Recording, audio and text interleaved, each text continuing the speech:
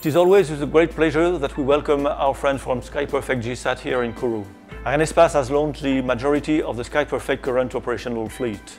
Our company, SkyPerfect JSAT Corporation, now operates 17 communication satellites.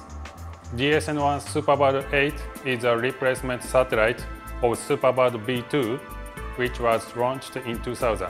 SuperBird 8 carries high-performance Ku and Ka band transponders and it's going to provide satellite communication services mainly in the Japanese market. Superbird 8 is the third spacecraft built on Melco's DS2000 bus series to be launched on Ariane after Superbird 7 and ST2, this time with NEC as the prime contractor. It was assembled and tested at Melco's Kamakura factory in Tokyo. This is where we have performed a combined test between the launch vehicle adapter and the spacecraft in order to verify the specificities of the interfaces. It's been quite a long time getting here because of a lot of difficulties we have experienced on this program. However, we have overcome all of them thanks to the company's cooperation involved.